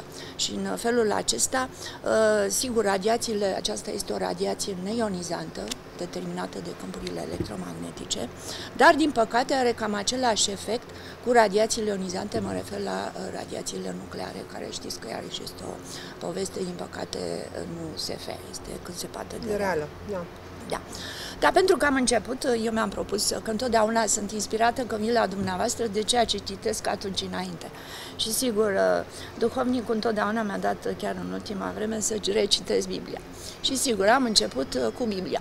Și atunci eu zic așa, că ar trebui să începem întâi cu inteligența naturală, adică aceea care a pus-o Dumnezeu în, în mintea omului, Uh, și trebuie să, la care trebuie să mai lucrăm și noi, adică avem neuronii, deci materia primă, sinapsele trebuie să le mai facem și noi, nu? Uh, Pentru Să că le asta punem la înseamnă, treabă, uh, nu, întâi să le creăm, că treaba Da. înseamnă gândire și muncă și asta determină apariția legăturilor între neuroni, care înseamnă sinapse. Și deci n-am să mă refer decât la prima, cum începe Cartea Cărților, care pentru mine este într-adevăr excepțională, de câte ori citești, descoperi și din punct de vedere științific uh, Sigur. lucruri noi. Da. Uh, Păi Dumnezeu a zis așa la început, sau s-a spus, a făcut, uh, la început a făcut Dumnezeu cerul și pământul, dar pământul era nedeslușit și neîmplinit. Și acum am să sar la ultima zi când uh, Dumnezeu a pus coroana creației sale, care este omul, și pe care l-a făcut cu tot ceea ce îi trebuie. Și atunci a spus, uh, și a zis Dumnezeu să scoată pământul ființe vii după felul lor, dobitoace, târătoare și fiare sălbatice după felul lor. Și a fost așa. A făcut Dumnezeu fiarele sălbatice, dobitoacele uh, și a văzut Dumnezeu că este bine. Și a zis Dumnezeu să facem om după chipul și asemănarea noastră, ca să stăpânească peste mă- peștii mării, peste păsările cerului și peste dobitoace și peste pământul și peste toate vietățile ce se trăsc pe pământ. Magnific! Deci asta înseamnă că omenirea, dacă ar fi să discutăm ceea ce scrie în Cartea Cărților, carte citită, să știți, de toate confesiunile, pentru că în, Sigur. în, atunci pe unde am umblat, chiar am fost surprinsă de câți musulmani citesc Biblia și câți uh, oameni, sigur, fiecare are religia lui și nu intrăm pe subiectul acesta, dar este o carte pe care aș recomanda-o în primul rând, dacă este vorba Da. de recomandări. De ce? Pentru că este fundamentul și ne ajută să înțelegem mai bine toate aceste informații, să le prelucrăm în viziunea aceasta. Și aici aș face o observație pentru că vreau să o fac. Uniunea Europeană ar trebui să fie puțin mai uh, atentă cu ceea ce face, pentru că s-ar putea să fie din ce în ce mai mulți uh, eurosceptici. Adică în ultima vreme am văzut că Uniunea Europeană este foarte preocupată și nu intrăm în discuție pe acest subiect, că drepturile fundamentale ale copilului, printre drepturile fundamentale de bază ale copilului sunt aceste, uh, mă rog, LGBT și alte, mă rog, orientări, orientări da. care nu, pe care nu le comentez, fiecare om își alege cum să trăiască. Dar întrebarea fundamentală se pune, nu face parte din drepturile fundamentale ale copilului și Dumnezeu? Adică întâi să-i dăm copilului toate aceste instrumente nu cărțile esențiale și apoi, sigur, copilul în cunoștință de cauză va face o alegere mai uh, în viitor care uh, depinde de uh, studiile și de ce de educație primește. Da, sigur. Deci educația este esențială. Deci asta este, pentru că foarte mulți cad în această capcană, de exemplu, a fost criticată de mulți că eu recomand cartea lui Yuval Noah Harari că are niște afirmații pe la Forumul Mondial uh, Economic. Nu, problema este că fiecare autor, pe mine nu mă interesează ce orientări, ce discută ei, da, dar dacă este ceva, mai bun, o da, informație da. pe care eu nu o găsesc în altă parte și o găsesc aici, o citim, o citim și, uh, uh, de exemplu, apropo de inteligența artificială, am citit, acum are o altă carte, mă rog, nu chiar acum, 21 de lecții pentru secolul 21, pe care iarăși o recomand, alături de cartea care v-am mai recomandat-o la emisiunea dumneavoastră, care se numește Homo Deus, sau o scurtă istoria viitorului, ca să vorbim de inteligența artificială. Păi, mă adresez acum în primul rând tinerilor și am recomandat această carte ca, dacă vreți, și la cursuri uh, ca să știe ce așteaptă și acest lucru, ceea ce scrie acest uh, autor, deosebit de informat, uh, se confirmă, de exemplu, printr-un studiu uh, făcut de uh, Institut de Cercetări al renumitei firme de consultanță McKinsey, care spune următoarele lucruri. Și asta coincide cu ceea ce se afirmă în aceste cărți și cu ceea ce observăm. În, până în 2000, maxim 50, circa 70% dintre profesori și medici vor fi înlocuiți de roboți. Deci problema se pune tinerii noștri, părinți, dragi părinți, care cheltuiți uh, bani, vreți, pentru studii, pentru studii. Atunci, cine, ce se face? Pentru că este adevărat și am să dau un exemplu din uh, ceea ce spune în această carte. Uh, ia exemplu chiar unui profesor de termodinamică, specialitatea mea și, sigur, spune care este avantajul unui profesor robot. Acum vreau să spun chiar recent, am citit, fac o mică paralelă, am citit că s-a ajuns din păcate, noi nu cunoaștem unde s-a ajuns în România. Noi suntem concentrați, focusați pe catastrofe și nu este așa. Da. Adică ne sculăm dimineața cu catastrofe și ne culcăm Tot cu catastrofe. Da. Da. Și asta ne mirăm după aceea că ne îmbolnăvim. Medicii spun că deci bolile secolului 21 sunt generate în primul rând de, de stres. Stres. stres. Da. Deci nu mai putem să admirăm uh, un apus de soare sau un răsărit de soare, nu mai putem să vedem roa dimineții pentru că ne gândim la catastrofe, Panicola. accidente da. și toate lucrurile da. astea.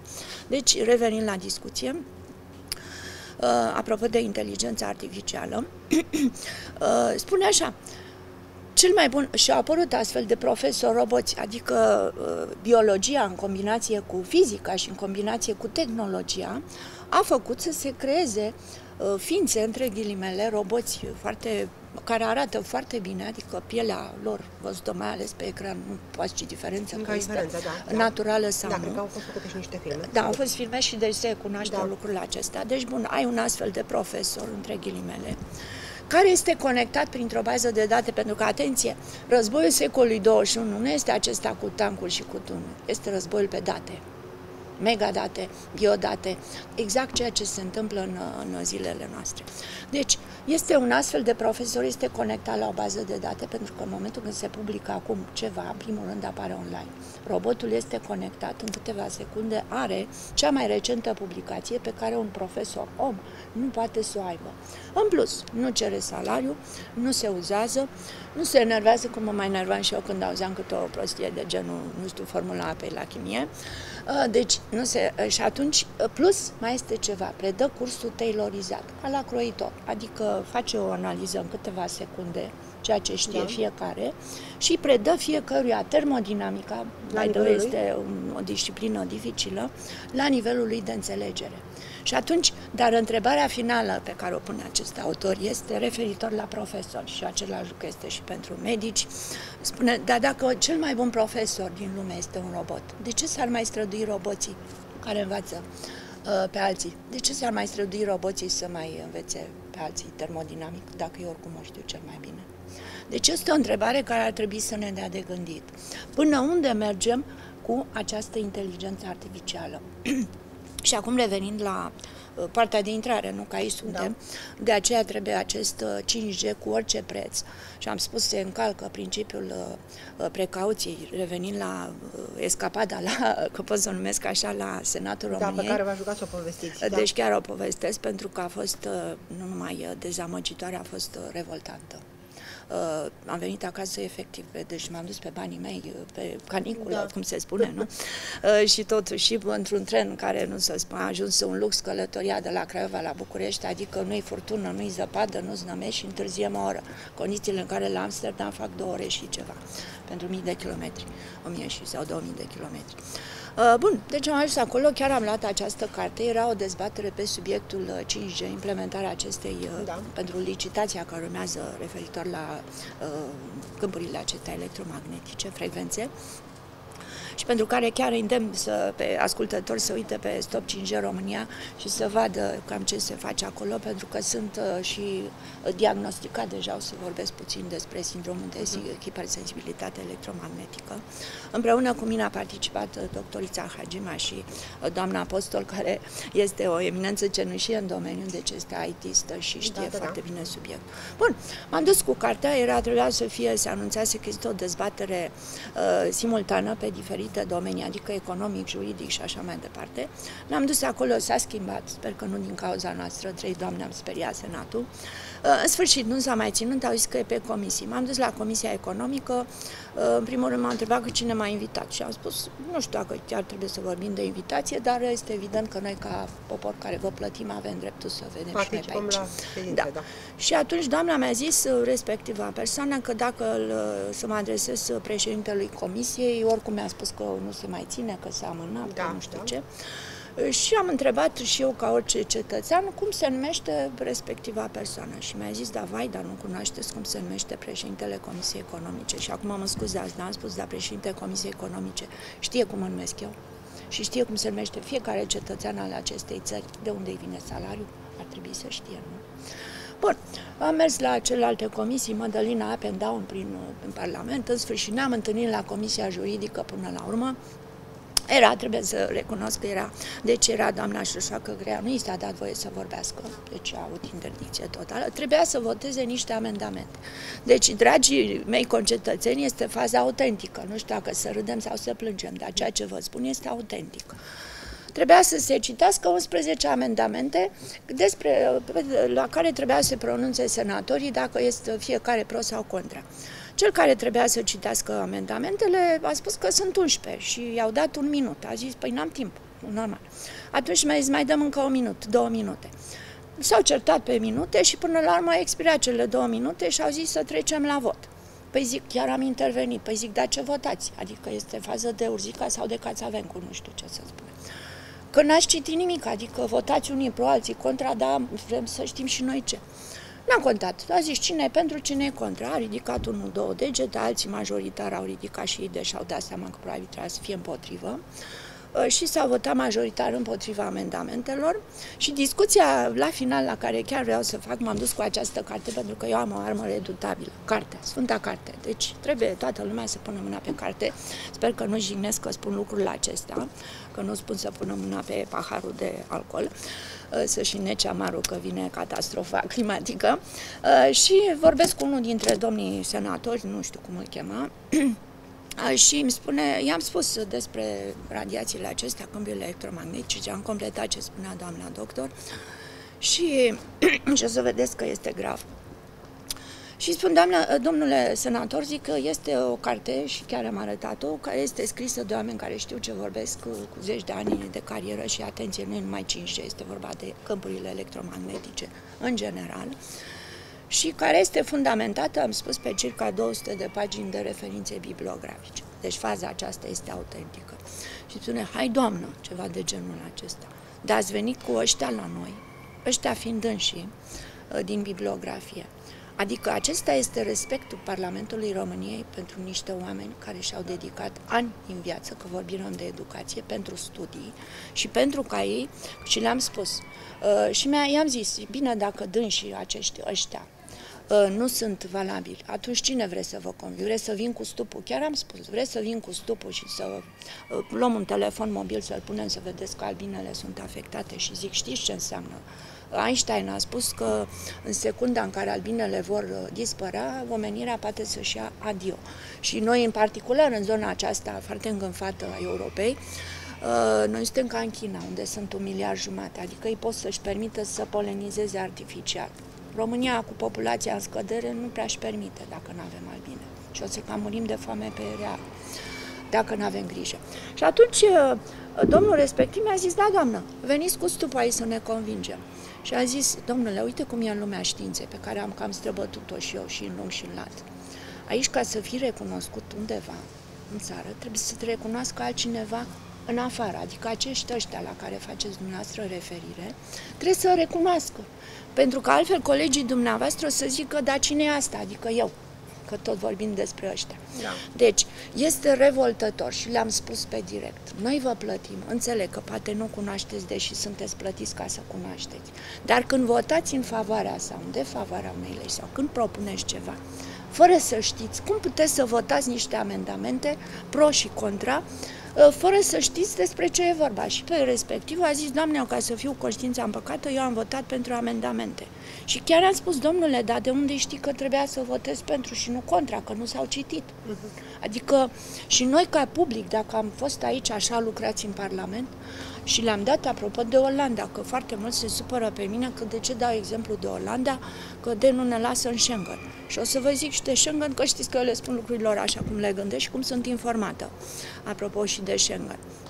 De atunci am spus Olanda parlamentarul olandez vine cu sandwich de acasă și vine pe bicicletă.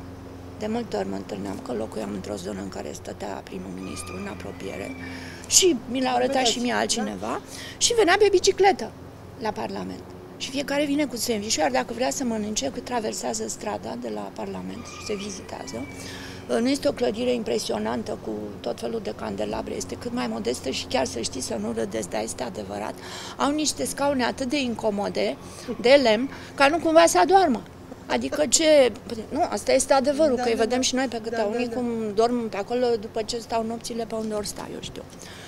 Uh, și atunci, de ce nu fac? Se duce la braserie respectivul parlamentar, stă la coadă, pentru că nimeni nu-i cedează loc în față, da? stă la coadă și trebuie să-și calculeze timpul pentru că e la lucru. Și asta apropo, deci data viitoare, acum exagerez puțin, dar eram revoltată, data viitoare o să am grijă și eu la înălțimea tocurilor. Uh, Uh, ca să pot să fiu la înălțimea uh, unor dudui da, de pe da, acolo, da. pentru că deci cam asta e competiția între tocuri, poșete și cam altceva, nu între ceea ce știu și noi plătim pentru ceea ce știu, nu să-și etaleze vestimentație.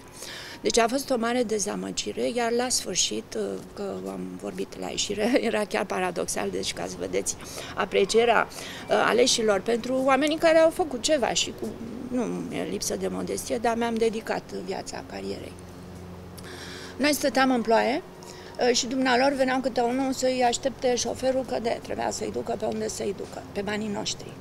Și înțeleg, îi plătim, le dăm onorul, apropo de că trebuie să știe cetățeanul de rând cum îl cheamă pe X sau pe Y de pe acolo, ă, temporar fiind. Ă, dar măcar să ne arate ce fac.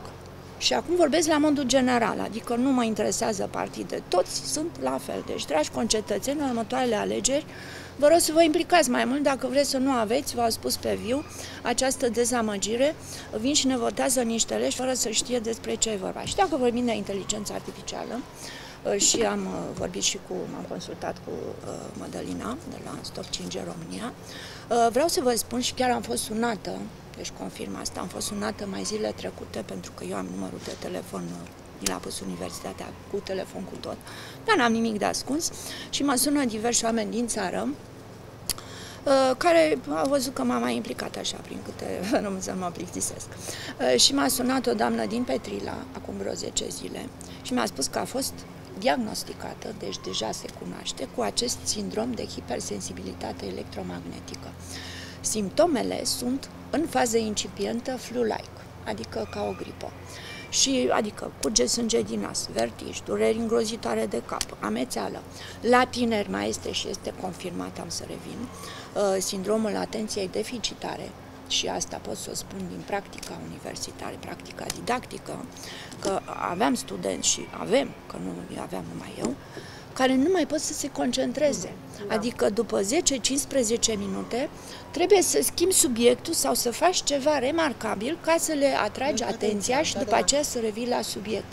Deci rolul de a fi profesor în secolul 21 și mai ales în România, dacă vrei să te respecti, ă, este foarte dificil, pentru că nu poți. Dacă eu vorbesc de entropie, un subiect foarte greu de înțeles, și dacă apar flashurile între, de concentrare ale unui student și nu poate să urmărească de la A la Z, iar eu am un timp limitat, păi nu va înțelege nimic. nimic sigur, da. Și atunci ne prefacem că facem o facultate pe banii părinților, ca să spune Harari. Uh, și spune institutul de care precizam, uh, McKenzie Institute, deci au institut de cercetări acestei firme celebre de consultanță, care spune că în uh, final, până am spus, 75% din locurile de muncă în domeniul educației și medicinei vor fi luate de roboți. Cum spuneau foarte mulți, bun, dar vrem uh, să fie roboți inteligenți care, vai, te analizează de când intri pe acolo și în spital. Dar asta, dragilor, costă. Să nu vă imaginați cine își imaginează că uh, doctorul robot e pe gratis. Costă foarte mult. Și problema se pune în condițiile unei lipse acute a locurilor de muncă, pentru că vor fi ocupate din ce în ce mai mulți de roboți. Deja sunt uh, și în, domeniul, în domeniile vitale, inginerie, de Sigur. exemplu. Uh, chiar uh, mi se pare că în uh, Apple, de exemplu, inițial, dacă nu mă înșel, aveau cam 100 și ceva de mii de angajați. Ei, la momentul acesta au depășit numărul roboților, adică 60 de mii sunt roboți și 50 de mii sunt oameni. Deci este și vorbim de un domeniu IT spre care se îndreaptă foarte mulți tineri. tineri și vorbim de un domeniu în care chiar trebuie să știi carte, adică acolo nu prea merge să nu știi. Da, da, da. Bun, ce vor face acești tineri dacă nu vor avea locuri de muncă? Spune acest uh, Harari că vor fi depresii, pentru că un tânăr, acum să luăm toți, am fost tineri și mai suntem indiferent de vârstă unii, pentru că eu cred că tinerețea este, nu e vorba că trebuie să ne uităm în buletin, tinerețea este definită de modul în care trăiești și modul în care vrei să fii conectat la realitățile lumii prin mintea proprie, cum am zis, de sinapse, nu prin ceea ce ne spune mainstream media sau cine mai spune. Și noi ne încolonăm și credem tot. Uh, apropo de uh, vreau să citesc ceva, adică spun din memorie că am citit cartea. Deci o carte remarcabilă, apropo și de partidele politice, Robert Michels, care este elevul, cel mai bun elev al lui Max Weber, despre care cred că s-a auzit în domeniul sociologiei, și spune, citind această carte, sunt interesată și de politica aceasta în care cred că va trebui să facem ceva ca să schimbăm lucrurile, spune că omul nu este un robot economic. Deci, Vorbim de inteligență artificială, dar de fapt, uh, hai să o luăm invers. Am ajuns să ne facem noi, oamenii artificiali. Adică omul nu-și mai folosește capacitățile, nu neintenționat am citit din Biblie. Am fost creați indiferent fiecare cum crede religia lui, dar este. Și pot să confirm asta din punct de vedere științific. Din păcate am ajuns la credință sau din fericire, nu știu cum să iau, de la știință pornind.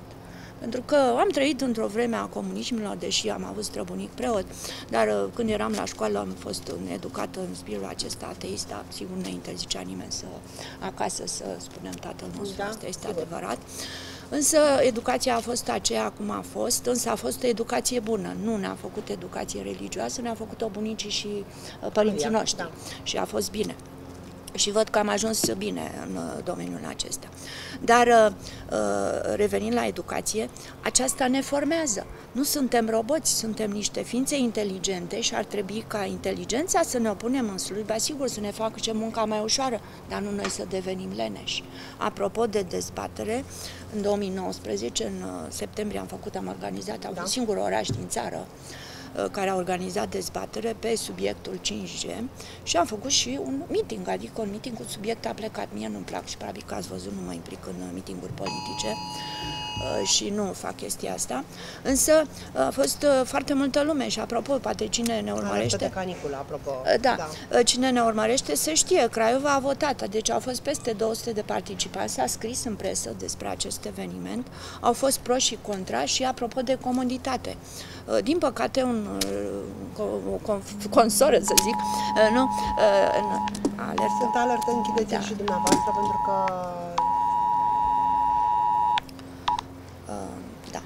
sigur, alertele am văzut că apar după ce se produce evenimentul. Ca să știm și noi ce a fost. Adică, da. Sigur, cine stă la bloc nu poate să se sesizeze dacă are aer condiționat, că dacă nu are și vine acum catastrofa energetică, s-ar putea să nu mai avem și ce face. Deci, revenind la acea dezbatere, s-a votat deci, dragi creioveni, să știți că v-am pus pe tavă, dacă vreți, am votat Craiova liberă de 5G.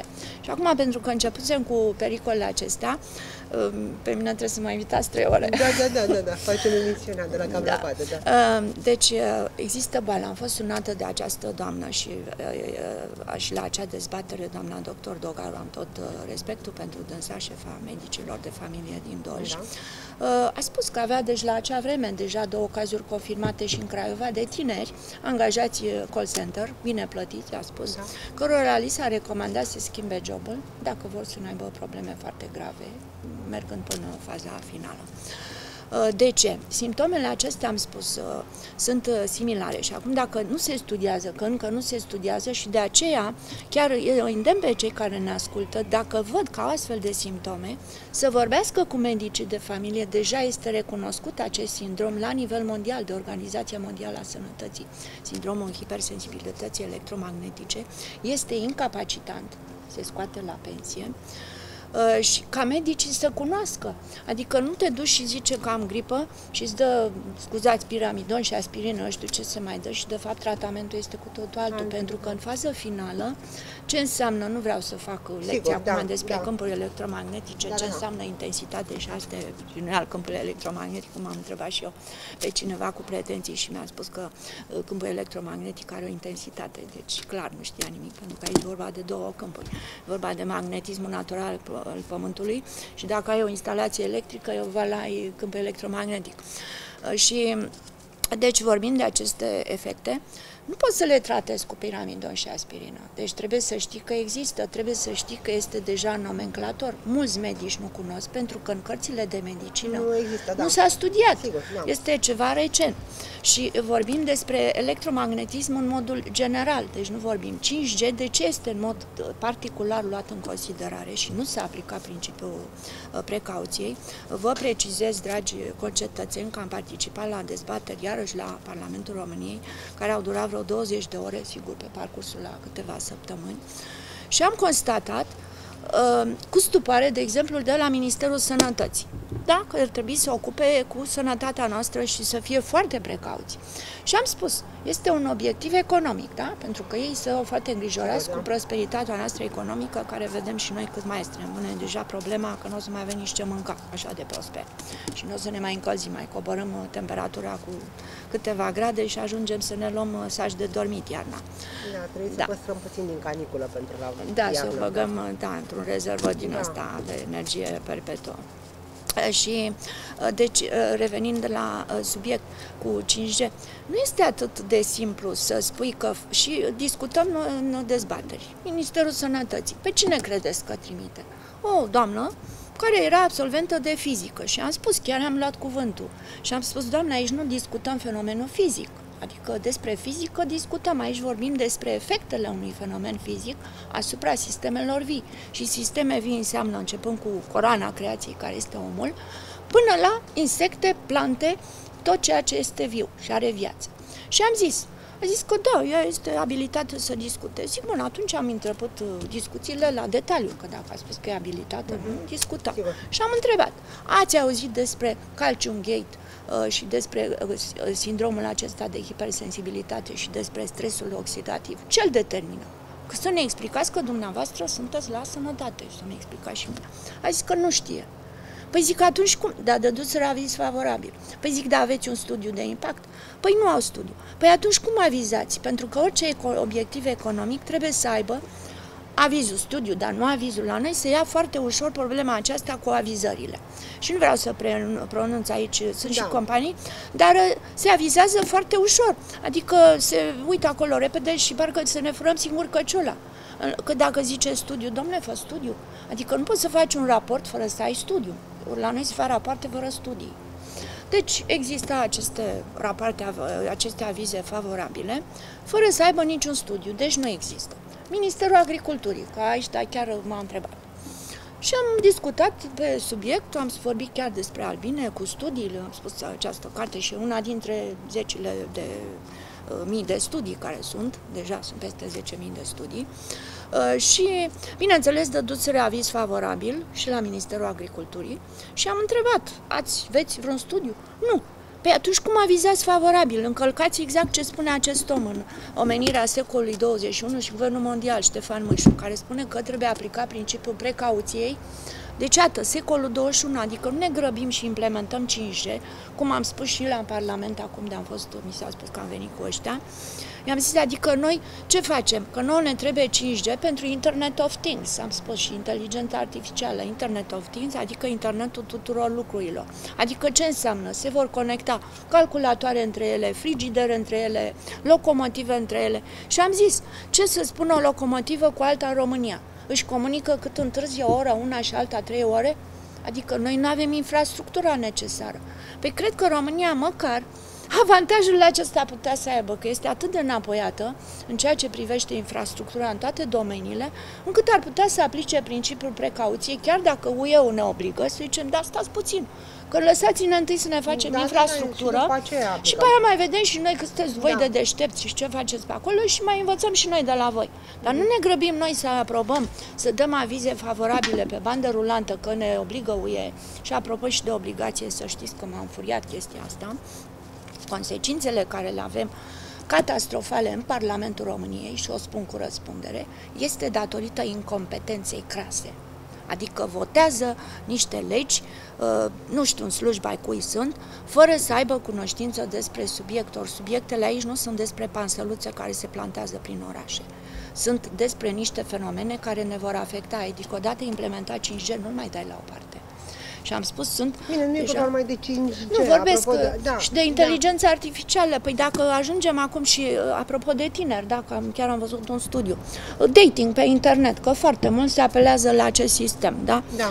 Păi dacă tânărul sau tânăra vede o figură din asta superbă, da? Că e bărbat sau că e femeie și respectivă este inteligența artificială, e un robot, încă nu ai cum să-l distingi. Uh-huh. Pentru că ce se spunea în acest studiu? Un studiu făcut foarte bine, gândit, numai inteligența artificială recunoaște inteligența artificială.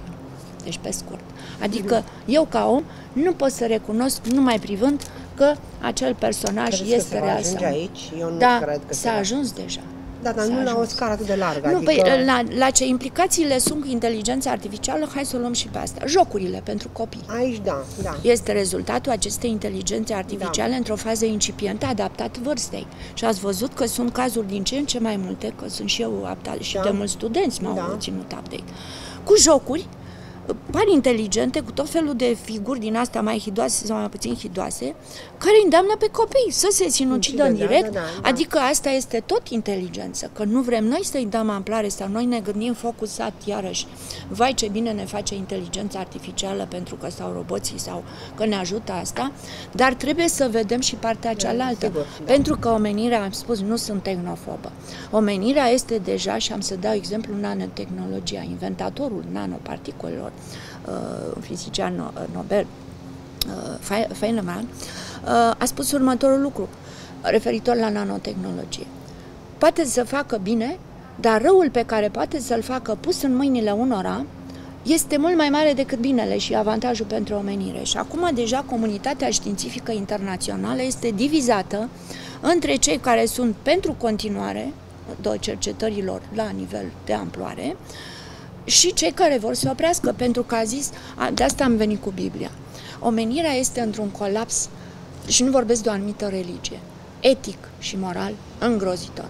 Deci dacă nu vorbim și de etică și moralitate în știință, nu putem să vorbim numai despre știința pură, pentru că aceasta va ajunge în final, ceea ce vedeam filmele tinereților noastre, mă rog, nu mă consider în vârstă, dar zic anilor trecuți, uh, de, le considerăm SF, realitatea este deja depășită, adică au depășit acele SF-uri. SF-urile sunt deja uh, depășite. Pentru că inteligența artificială scăpată de sub control și deja nu mai suntem, adică noi zicem că suntem la intrare, dar dacă, și vorbim de domeniul militar pe care îl cunosc, adică bănesc că cine mă ascultă își dă seama că a inspecta arme chimice la Națiunile Unite înseamnă un orizont uh, foarte mare în, și, repet, în toate domeniile. Adică nu poți să inspectezi site-uri militare și civile în diverse locuri ale lumii dacă nu ești bine documentat și pregătit. Și vreau să spun că în domeniul militar Uh, nu este ceea ce vedem noi de film pe la televizor, tancuri și alte chestii. Războiul acum se duce altfel, dragilor. Cine mai crede în tancuri și chestii de-astea e depășit. Mulțumesc mult de tot. Uh, și aș încheia, da. deci vreau să închei, că îmi place simetria, da. uh, pentru că am recomandat această carte, care este cartea cu care am început eu ziua, și aș recomanda și tinerilor, că nu face rău. Este magistral. Uh, cuvântul lui Dumnezeu către Iov. Știți, Iov care se supus la foarte multe încercări, cum suntem și noi supuși, da? Și care poate foarte multe lucruri și atunci el are un cuvânt de revoltă către Dumnezeu, iar uh, Dumnezeu îi răspunde, capitolul 38. Și el zice așa, Dumnezeu, o, cine e acela ce sfatul mi-l ascunde și noduri de cuvinte mă ascunde chiar pe mine?' În cine despărbătește mijlocul încingătoare, eu întrebări voi pune, iar tu ai să-mi răspunzi. Omul să-i răspundă lui Dumnezeu. Unde erai când însumi întemeiam pământul? Hai spunem dacă știi. Știi oare cine anume i-a hotărât măsuri? Sau cine pus plasă de funii peste el? Și dacă îl țin pilaștrii, în ce sunt ei înfipți? Sau cine a pus tărie de piatră unghiulară? Hai, cine? Toate astea, când stele se nășteau și îngerii mei, da, toți, mă preamăreau un cor, când marea se născuse din sânul Maicii sale și se vărsa pe alături, au cine a îngrădit-o? Că scutece de neguri am pus pe trupul ei și norul drept veșmânt. Și în jurul ei hotar și lacăte la porți, zicându-i, până aici doar să vii și nu mai mult, și valurile tale să se zdrobească în tine au peste tine întins aripile luminii și în veacul tău menirea luceafărul șcăta, anume să apuce pământul de la colțuri, să-l scuture de toată nelungirea lui. Și aș încheia, uh, ascultătorii pot să lectureze, este excepțional. Uh, cred că o încheiere mai bună nu puteam să facem da. pentru inteligența artificială. Dragilor, hai să ne întoarcem întâi la inteligența naturală și după aceea, cunoscând-o bine pe aceasta, putem să ne apucăm și de cea artificială. Mulțumesc mult de tot! O adevărată plăcere și nu cred că este nevoie de prea multe întrebări atunci când ai un astfel de invitat. Mulțumesc! Mulțumesc mult de tot și o zi frumoasă tuturor! tuturor.